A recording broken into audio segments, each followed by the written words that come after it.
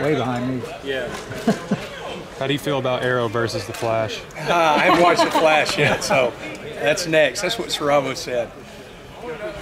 Well, how, how's the adjustment been for you moving to the D line?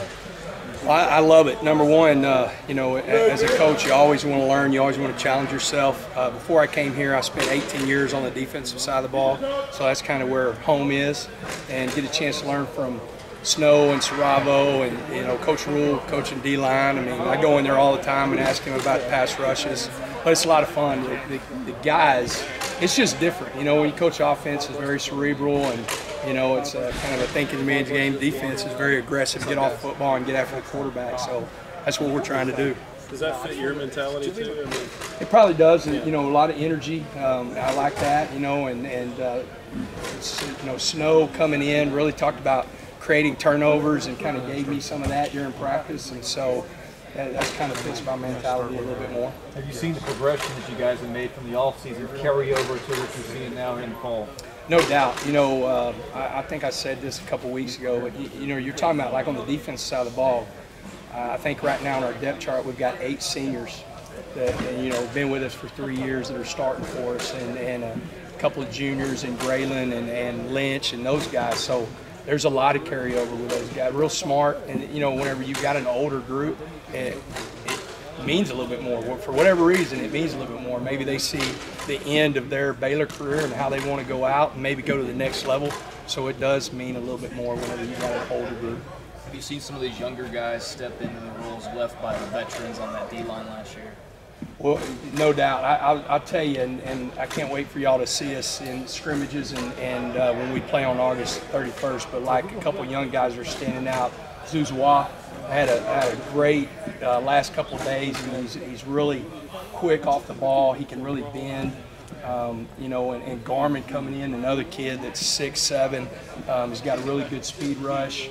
And the great thing is you have an older group like with James Lynch and and uh, you know um, Bravvion and and and Lockhart. you've got those guys, and they really want to help grow these guys up. So it's always I'm coaching them, but those older guys are coaching them too. it sounds like you and Frank just kind of coach together. I mean, he he said y'all are labeled your ends, he's tackles, but y'all just kind of get in there and work together. Well, you know, you always, whenever a guy's played at the level he's played at, I'm always going to defer to, hey, you know, what do you think about this and this? And then you turn around with Coach Rhule, coaching the D line also. Uh, but we do, we work a lot together. We'll split up during practice. He'll take the noses or the tackles, and I'll take the ends. Um, and then when we come to the team, I just get on one side and he gets on the other, and we make sure they're running to the football. Coach was talking about the agility and the speed of, of the line. Is that something that y'all recruit for, or is that just how the lines play nowadays from high school up?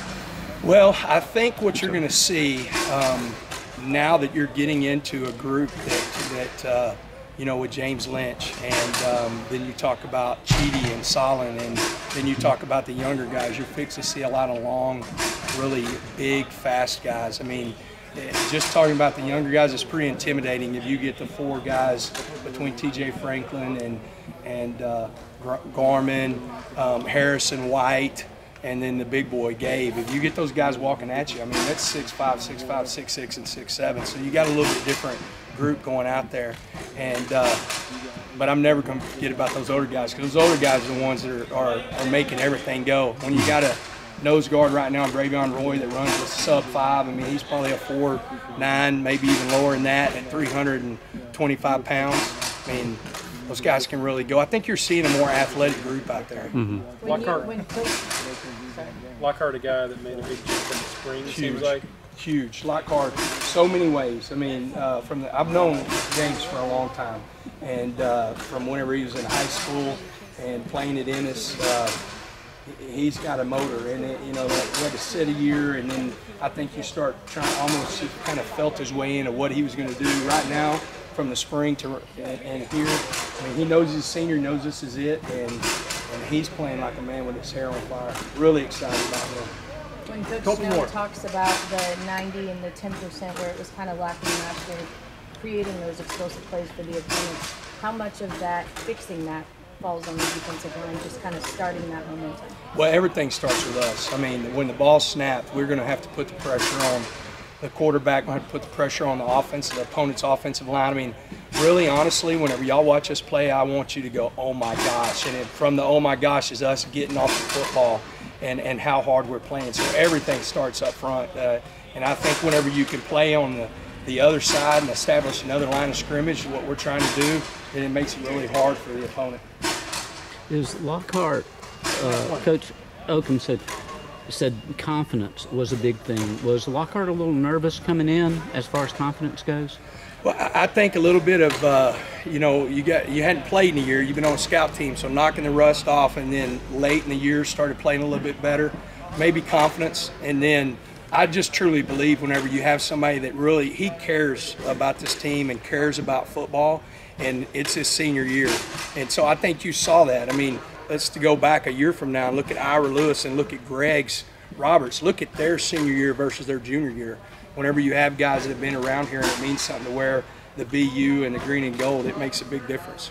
Thanks, You Coach. bet. Appreciate it. All right.